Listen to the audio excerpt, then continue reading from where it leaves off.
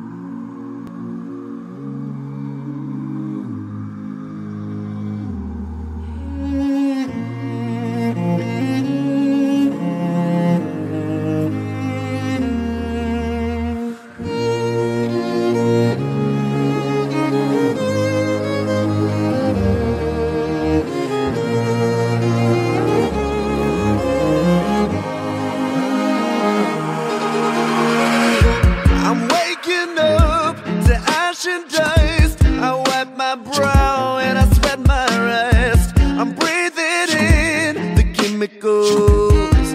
I'm